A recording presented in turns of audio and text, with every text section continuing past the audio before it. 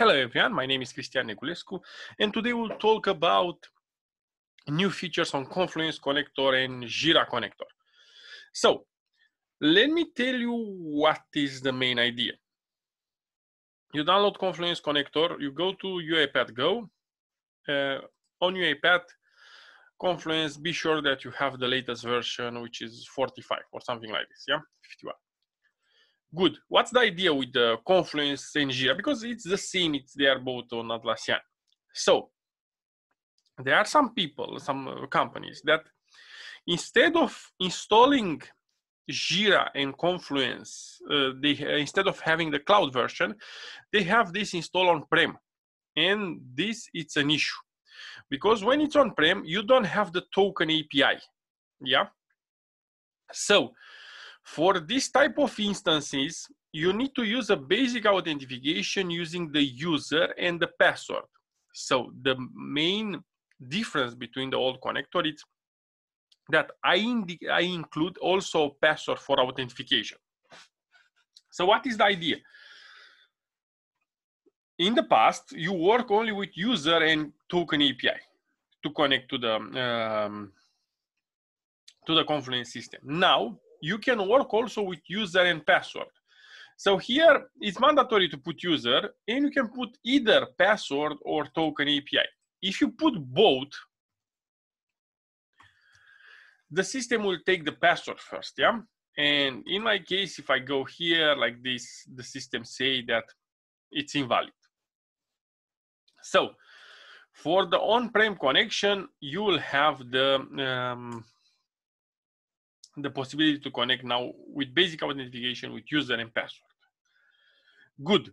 Now, there are some connection on the, um, so the, the idea is like this. Here you put your endpoint. If the endpoint is on the cloud, Jira and Confluence normally they stay on the same server. So for example, we have UiPath Atlassian.net, yeah? And we have both Jira and Confluence. To make a difference on the commands between Jira and Confluence, when you connect to Confluence, you will get an wiki. So you will have backslash wiki backslash the comments. If you have the Confluence on-prem, probably you don't have this wiki. So what's the idea? When you are connected on-prem, you put your user and the password, you put the endpoint, and then you will um, uh, you will test your connection. If your connection will not work, you will say without wiki, yeah. Because if I go like this, I have the the connection, and if I say without wiki, he will remove the wiki from the uh, from the system. Okay. Good. Now, there is another aspect. So I'm connected and I want to get the contact. This is the content, yeah?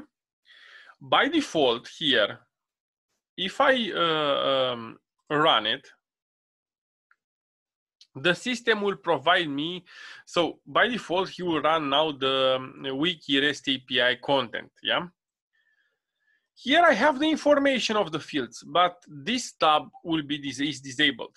It's just information. What's the idea? The system return all the items that he find.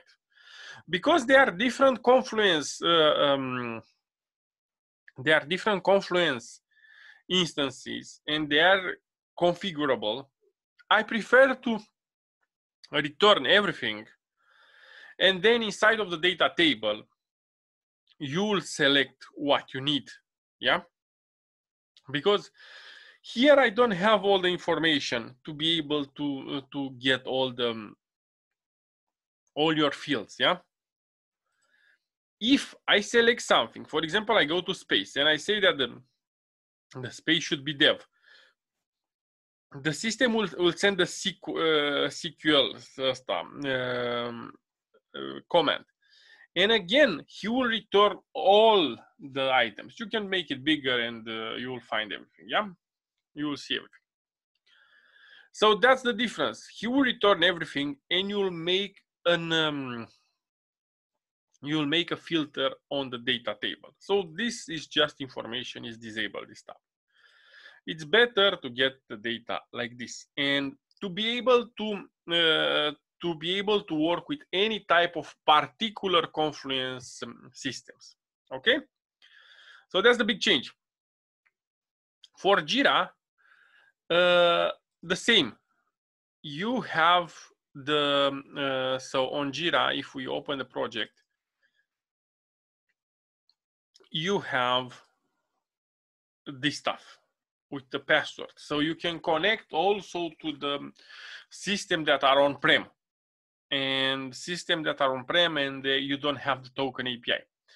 So um, please contact me on the um, LinkedIn or um, go to my YouTube where you have a lot of videos about Salesforce ServiceNow and other stuff. You go to playlist and uh, you find here a playlist for Jira and Confluence. So contact me on the uh, LinkedIn and um, I will um, I will update the connectors based on your particular case if you find any other particular case.